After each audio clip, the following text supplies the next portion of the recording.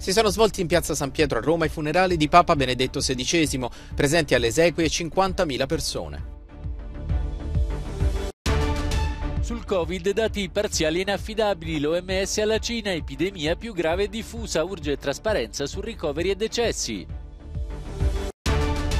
Manifestazione in Georgia per la scarcerazione dell'ex presidente Mikhail Saakashvili detenuto in condizioni di salute giudicate precarie. Si sono svolti in Vaticano i funerali del Papa Emerito Benedetto XVI. In migliaia hanno presenziato alla cerimonia in piazza San Pietro a Roma, presieduta da Papa Francesco. Presenti tra gli altri la Presidente del Consiglio italiana Giorgia Meloni e la Regina Sofia di Spagna. Durante l'omelia Papa Francesco ha scelto di non soffermarsi sull'eredità specifica di Benedetto, proponendo invece una meditazione su Gesù e sulla sua disponibilità ad affidarsi alla volontà di Dio. Benedetto, fedele amico dello sposo, che la tua gioia sia perfetta nell'udire definitivamente e per sempre la sua voce.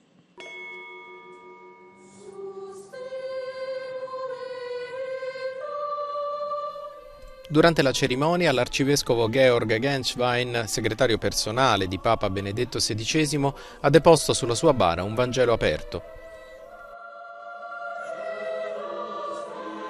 Benedetto, che è stato il primo papa della storia recente a ritirarsi dall'incarico, è morto a Capodanno. Ratzinger sarà sepolto nelle grotte vaticane al di sotto della Basilica di San Pietro. Esequie quasi da Papa regnante, non da Papa emerito, così si è mosso il Vaticano per i funerali di Papa Benedetto eh, XVI che sono stati celebrati qui in piazza eh, San Pietro da Papa Francesco, il quale eh, davanti ad una folla di circa 100.000 persone ha voluto omaggiare il suo predecessore durante l'omelia e poi al termine della messa. Proprio sul sagrato eh, della Basilica. Come sappiamo a partecipare alla cerimonia eh, ci sono stati rappresentanti delle famiglie reali europee, così come eh, delegazioni ufficiali sia dalla Germania che qui eh, dall'Italia, presenti eh, il Presidente della Repubblica Mattarella e il Presidente del Consiglio Giorgia eh, Meloni. Ehm, la sepoltura in forma privata mh, mm, è avvenuta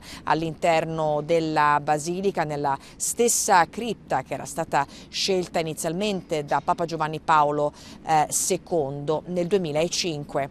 Giorgio Orlandi, Euronews, Città del Vaticano. Troppo ristretta la definizione data dalla Cina ai decessi legati al Covid. I suoi dati sottorappresentano la portata dell'epidemia. Dall'Organizzazione Mondiale della Sanità l'appello a Pechino Serve più trasparenza sul reale impatto in termini di ricoveri ospedalieri, accessi in terapia intensiva e soprattutto decessi.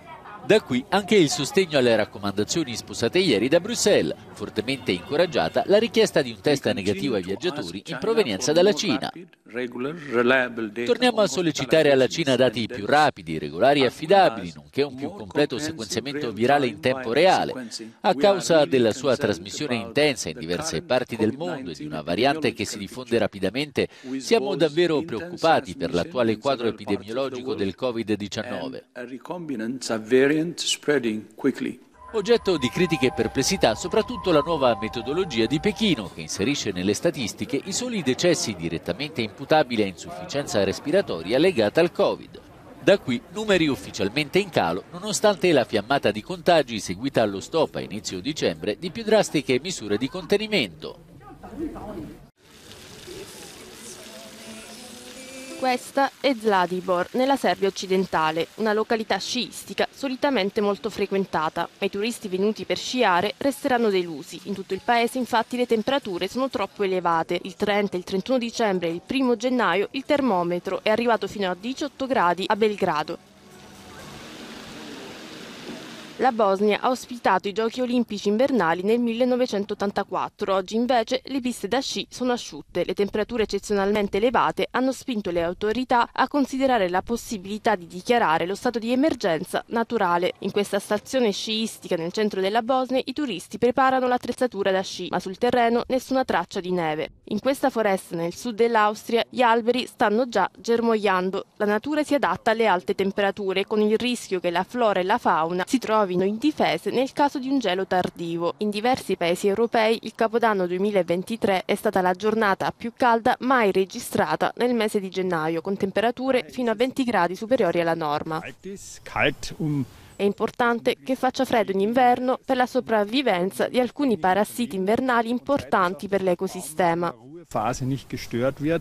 L'inverno europeo non è stato mai così caldo, ma secondo gli esperti questo tepore non durerà Manifestazioni di sostegno alla richiesta di trasferire all'estero per ragioni di salute l'ex presidente della Georgia Mikhail Saakashvili si sono svolte il 4 gennaio in numerose città della nazione europea nonché in altri paesi del vecchio continente. I manifestanti chiedono la liberazione dell'ex presidente attualmente detenuto a causa del grave deterioramento delle sue condizioni di salute. Abbiamo deciso di unirci a questa protesta globale legata alle condizioni dell'ex presidente della Georgia. La manifestazione è stata lanciata dai nostri amici ucraini e ora la mobilitazione è in corso in diversi paesi. Ciò che chiediamo è di salvare una vita, di salvare Mikhail Saakashvili.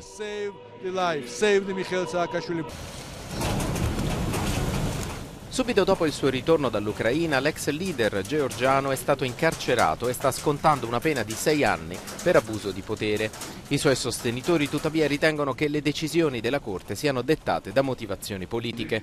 Dopo uno sciopero della fame durato diverse settimane, le sue condizioni di salute hanno iniziato a peggiorare. Medici locali e internazionali affermano che Saakashvili soffrirebbe di una forma degenerativa di demenza. Alcuni di loro ritengono che ciò possa essere collegato ad un presunto avvelenamento da metalli pesanti. Nonostante ciò, le autorità georgiane non ritengono critiche le condizioni di salute dell'ex presidente. Dal loro punto di vista, Saakashvili sarebbe soltanto cercando di ostacolare i procedimenti giudiziari a suo carico e ingannare la società e i partner internazionali. Now the pressure has increased on the president of Georgia Ora la pressione sta aumentando sulla presidente della Georgia, Salomè Zurabishvili. Sono già alcune settimane che si tengono manifestazioni davanti al palazzo presidenziale alle quali partecipano cittadini, politici, attuali ed ex diplomatici, nonché medici georgiani. Tutti chiedono alla presidente della Georgia di graziare l'incarcerato Saakashvili, sottolineando come le condizioni di salute dell'ex capo di Stato peggiorino di giorno in giorno, il che potrebbe anche portare alla sua morte. Mariam Kukhilova for Euronews. Il Consumer Electronics Show, la più grande fiera tecnologica al mondo, torna a Las Vegas. Il nome esposizione dell'elettronica di consumo non deve però ingannare perché al CES quest'anno vengono presentate numerose invenzioni tecnologiche che puntano ad aiutare il mondo a risolvere le sue più grandi sfide, dall'inquinamento dell'aria alla salute fino all'accesso all'acqua pulita. Ritengo che pensare alla tecnologia applicata a degli scopi rappresenti un ottimo approccio, in particolare per il bene comune e il miglioramento delle nostre vite. L'innovazione nel campo della tecnologia sanitaria rappresenta una prova a riguardo. Molti dispositivi sanitari sono infatti dotati di sistemi di intelligenza artificiale integrata, come nel caso di questo rilevatore di virus tascabile.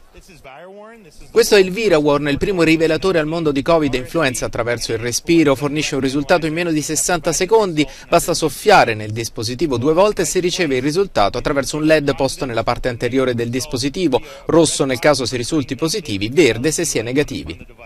Questo esoscheletro invece può aiutare gli operatori sanitari o gli operai a passare facilmente dalla posizione retta a quella seduta senza bisogno di una sedia. È molto rilassante, sì, è comodo. Altro grande tema affrontato è quello del metaverso. Molte aziende svelano le loro ultime offerte in materia di realtà virtuale e aumentata.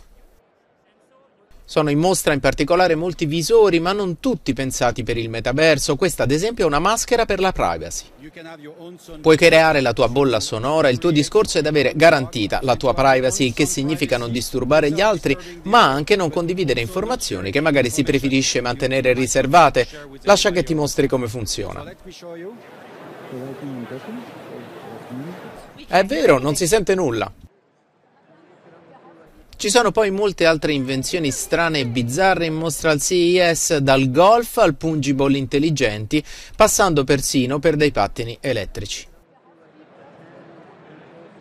Gli organizzatori si augurano che lo show sia sul solco di quelli pre-pandemia, si prevede che circa 100.000 persone si recheranno qui con l'obiettivo di scoprire per primi le ultime innovazioni e i gadget tecnologici più divertenti.